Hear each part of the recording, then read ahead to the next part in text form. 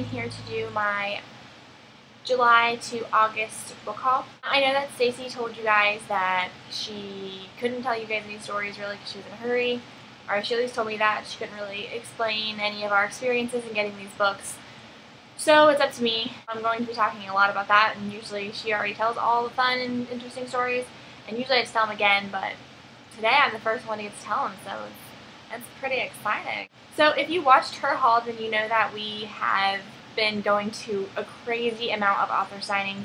I actually even went to one more than Stacy did. I went and saw Meg Cabot, Chris Colfer, and then this YA author panel that was going through. But I also got some books for review. So I'm going to go over the books that I got for review first, and then I'm going to start talking about the books that I got at the signing. So the first thing that I got for review was 52 Reasons to Hate My Father, and this is by Jessica Brody.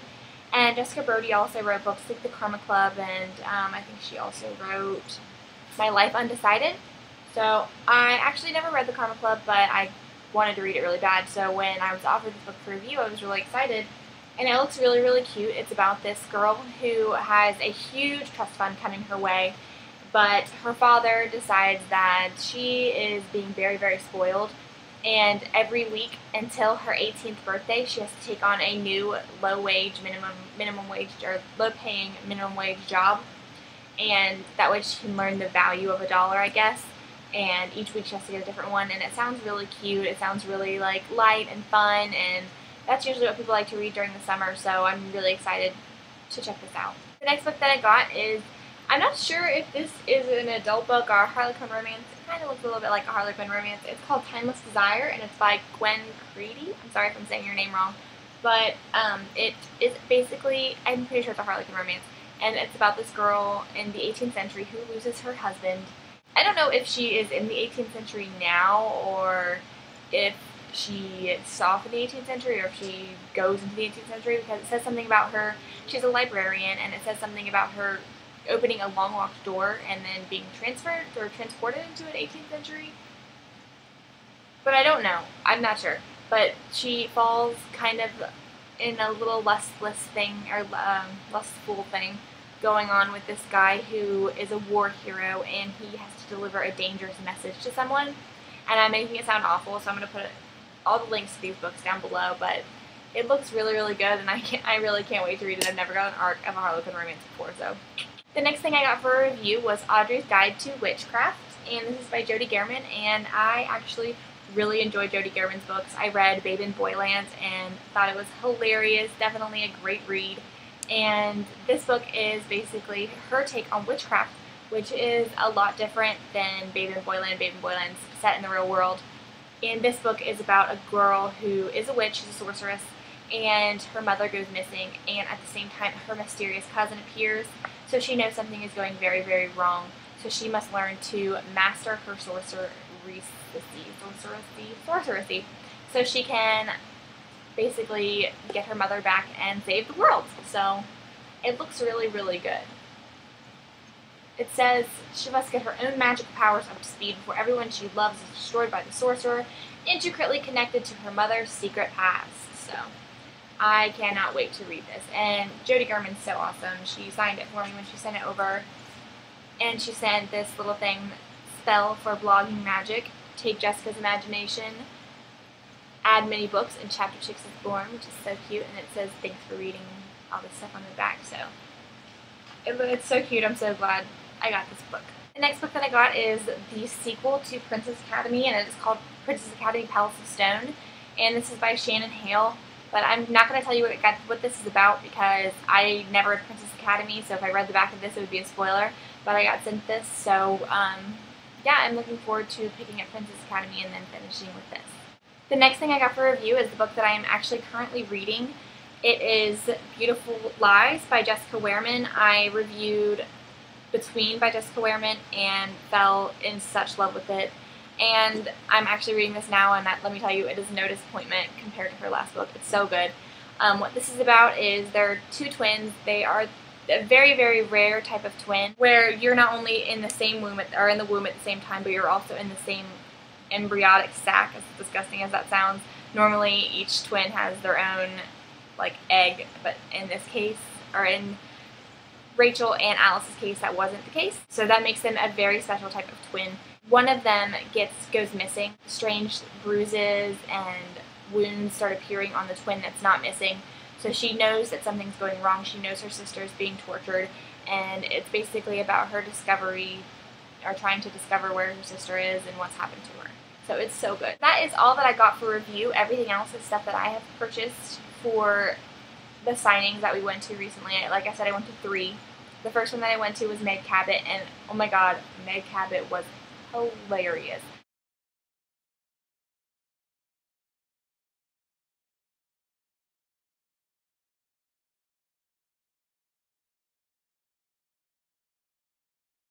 She was so much fun. She was so, like she was just so funny.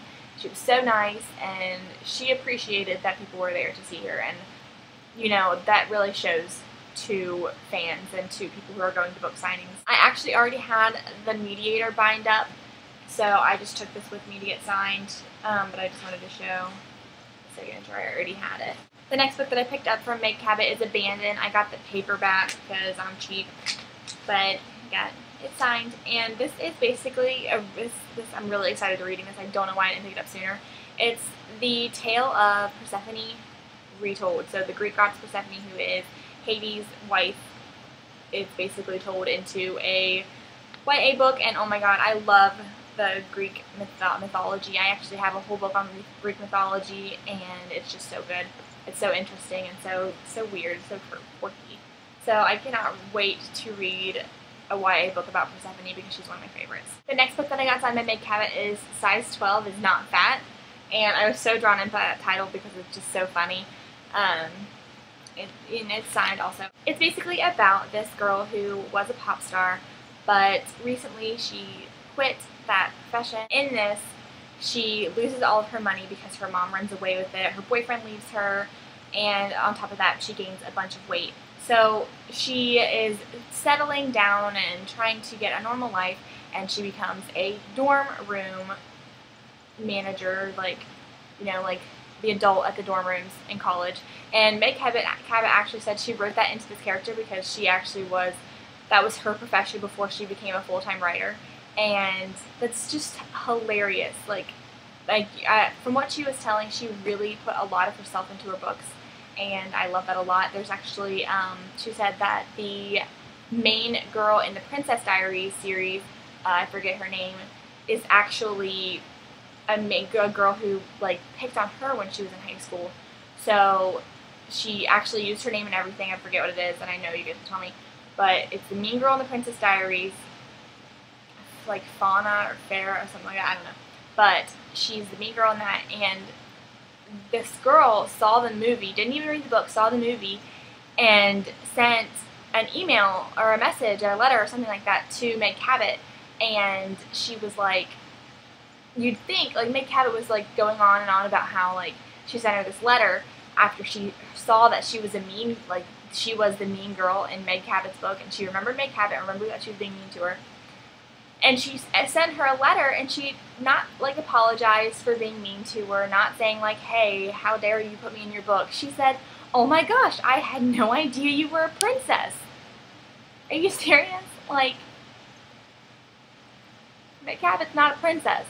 But she thought that since she was the main girl and the main thing that Meg Cabot was also the main character.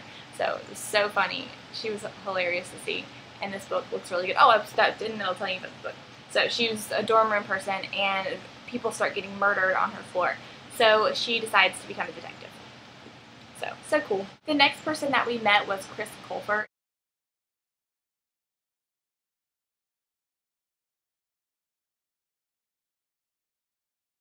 And oh my god, he was one of my favorite people to meet.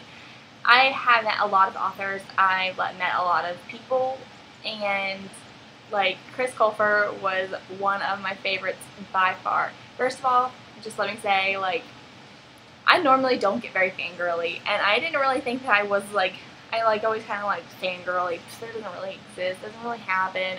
Yes, it does. Yes, it does. Stacy and I, we were like, no big deal. Chris Colfer, he's in Glee, blah, blah, blah. He's wrote a book, so we're going to go see him. And we get down there, and there's so many people there, and we don't even get a glimpse of him. for, for a really, really long time. So we were actually, we got there right on time because there was like no place to park and it was awful. but we were trying to get to the cash register because you had to pay for your book to get your line ticket. And we couldn't get to the cash register because people, so many people were there from Glee and they weren't used to book signings and they didn't know that you're not supposed to stay right by the cash register. So we went over to the children's section because we knew that there was another cash register over there, and we were talking about the line tickets. And we asked him, "Do you have any back here so that we can get the line tickets?" And he said, "Well, I actually don't have any back here. I think we're almost out. Let me call ahead to the over to the desk for you." And he called, and they're like, "There's only two left." So he ran over and got them for us. So we got the last, we were the last two people to see Chris Colfer, and it was really awesome. And he was so so nice like I said, we were one of the last people in line. There was a couple people behind us because they, I think they went back through for something to get another picture, I guess. Here's the signature. I'll just go ahead and show you guys. It has this cool little map in it. This book looks awesome. Little map. But, um, we were some of the last people in line, there were so many people there, more people that I've seen in any author signing. And right when he saw us, like he perked up. Like he, he was doing this for everyone, but like every new person that went through, he got really perky again. He got really happy. He was really polite, really sweet, and it was really nice. It was really nice meeting. And I got totally, totally fangirly. Like we got up there and I saw him and I'm like, Stacey, you have to go first. I'm so nervous. You have to do it. I don't remember what I actually said. She's gonna say that's not what I actually said, but I said something about I'm like getting nervous. So I made her go first, and she was supposed to give him our business card because we have business cards for Chapter Chicks and be like, hey, check us out. But then she got all fangirly too, and like the whole way home we were like giggling and we were like la- like going crazy about how we just met Chris Colfer and how awesome it was and all this stuff. So it was awesome. So the next group of people that we saw, there was seven people there. There were supposed to be eight, but Katrina Kittle couldn't make it, and she wrote Reasons to Be Happy. I was actually kind of disappointed that she wasn't going to be there because I've never heard of this book before, but I, and I bought it for the signing, and I was really excited to get it signed. But she wasn't there, so that sucks. But I actually had a lot of trouble getting this book too, so that's another reason why I was really disappointed that she wasn't there because I was supposed to see her like, or not. I'm supposed to. I ordered all these things, and I signed up for Amazon Prime so I can get two day shipping, free two day shipping on all of the books and because I needed a couple and I didn't want to buy all the hardcovers. So I bought this one with it, and for some reason it shipped separately, and then it said it wasn't going to be there until three days after the signing, and I'm like, two day shipping, ordering it three days early, not going to be here three days after till three days after the signing. Doesn't sound like two day shipping to me. So I had to call Amazon and go through all this stuff, and it arrived the same time as my other books. So it was already like with the same in the same delivery. So it was already at the same facility. So why did they not just send it? I don't understand. But I got it, and then she wasn't even there. So. The next book that I got signed was um, Tension of Opposites by Kristina McBride. It's about this girl who has, or the girl is, her best friend gets kidnapped, and she's kind of put her whole life on hold waiting for her best friend. Like, she doesn't feel right doing it, like living her life when her best friend hasn't been able to live hers. And then one day her, the telephone rings and it's her best friend. She'd been kidnapped for the last two years and now she's back now she's like, I guess they can never let her go or something. So, whoa, sounds totally good. Um, obviously, things are going to be really hectic after that. The next person that we saw was um, Rae Carson, and she wrote The Girl of Fire and Thorns. And this is about a girl who is the chosen one, and she's also a princess, but she feels that she has never done anything remarkable in her life. But one day, this king marries her because she's the chosen one, and she's take, give, taken on all this responsibility, a husband being the chosen one, and enemies are after her, and all. And she has to basically figure out how to choose to be the chosen one. So I actually butchered the synopsis. It sounds way better than that. But it looks really, really good. I cannot wait to read it. And she was really, really funny. I loved all of the authors there. They were They talked for like an hour and they were so funny. They kept telling awesome stories and you can just tell that they're just having a blast being on this tour and a blast writing and that means a lot. Next author that was there was Christine Johnson and she wrote Clair de Lune. She was actually there for Nocturne, on like touring for Nocturne, but I didn't have Clair de Lune yet so I picked it up and got it signed instead of Nocturne. This is a book about a girl. She just turned 16 and she discovers that she is a werewolf and has a destiny. I don't know what the destiny is, but she has a dark secret and she's pushing the boundaries of forbidden love. And she'll be forced to make a choice that will change her life forever. Sounds pretty crazy. Um, I love forbidden love. That's like one of my favorite things. Especially when it's love triangles. Love triangles and forbidden love is just great. But yeah, so I actually really can't wait to read this. I'm becoming more and more of a werewolf fan. I used to really hate werewolf books, but I've a lot of really great werewolf books lately. So I'm slowly becoming more of a werewolf fan. The next thing that I got is The Demons Surrender, and this is by Sarah Rees Brennan. And this is the third book in the Demons Lexicon series, I think, trilogy, Demons Lexicon trilogy. Yeah, Demons Lexicon trilogy. And I actually have the first two signed already. I saw her a little while ago when she came by with Holly Black when she was touring for the Demon Surrender, which is the second one. And I haven't got a chance to read any of them yet, so I can't really tell you what this is about. But she actually asked me who my favorite character was, and I felt so bad because I haven't read it yet. And, like, as you guys know, I've been moving, had a baby, got married, but I just, like, she asked me that, and I'm like, I don't know, I'm so sorry. I felt so bad because I've had them, but I've they were packed away and I was married and having a baby and for some reason I didn't tell her that. So if you're watching this Sarah Rees Brennan, I'm so sorry. I just had a baby, I got married, and I moved. I'm so sorry. I didn't read your books yet. But they look really good and I can't wait to read them. And she actually told us a funny story about um, that guy in the second cover, I guess. No, the first cover. She said he was actually shirtless and the cover was awful and so she was still really nice about me not reading her books, so I love her. And she was hilarious. We also got a bunch of swag. Um, I stole a lot of it. Um, I mostly, she had so much left, and we were one of the last ones that left in line because she was trying to get new swag before she has to go do something else. So she's like, here, take as much of it as you want. So I did. Um, I have a couple stickers, and then I have this. It says, always seek the truth, and I don't know where this sticker came from. Um, Stacy gave it to me. She handed it to me. But I have all kinds of stickers and all kinds of fun things now. So yeah, um, Julie Kagawa was also there. Um, she's really nice. She's one of my favorite people. Um, I love the Iron Fey series. It's one of my absolute favorite series, if not like definitely top five favorite series. And she was so nice, and we've talked to her a bunch on the blog before. So when we said we were with Chapter Chicks, she's like, "Oh my God, Chapter Chicks! I feel like I'm meeting a celebrity." And so it was really nice, and she was great. All of them were really great.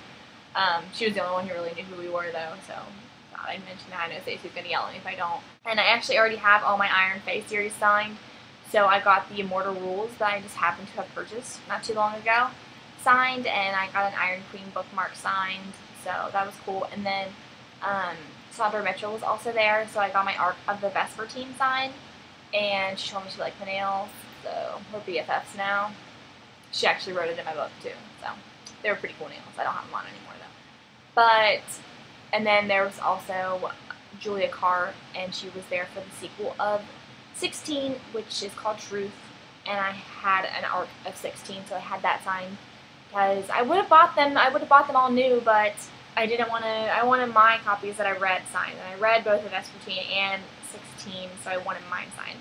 Otherwise, I would have bought them. Stacy hasn't read 16 yet, and she didn't have the book, and when she went there, she had her library copy, or Dylan had taken her library copy out of her bag of Tension of Opposites. So she already had to rebuy that, even though she already bought it. So they were all giving away books, and she didn't have 16 yet. And Julia Karr's like, okay, I'm about to give away 16. And Stacy literally yelled and begged for it. Like, she's like, oh, me, me, I don't have it, I need it, please. And it was so funny. Like, everyone was laughing, and she, like, every time she asked for it, she, or asked who wanted it, Stacey was just like screaming. So she got it. So she didn't have to pay for that. And uh, yeah, that's pretty much it. That's a lot of books I got. I haven't got too many books since Border, Borders closed. But um, we also met Kristi from the Story Siren. It was a lot of fun. Stacey's gonna yell at me if I don't tell the story too. So we saw her, we were standing in line, and Stacy's like, Jesse, I think that's Kristi from the Story Siren. We waited until we went, all, all of us had went through the line, and I'm like, hey, are you Kristi from the Story Siren? And she's like, yeah. And I'm like, can we take your picture, a picture with you? And she's like, yeah, sure. She was really nice about it, and she's like, or she, we told her we were Stacy and Jessica from Chapter Chicks, and she's like, oh, hey, and gave Stacy a big hug, and gave me a little tiny hug, and said, um, she said she saw some of our videos and stuff, so it was really cool to meet her as well. Um, she was there with two other people. I'm sure you guys, if you're watching this, you watched her in my mailbox, so you know she, who she was there with. I am Jessica with Chapter Chicks. This was my all the books that I got in July, and this chapter was for you.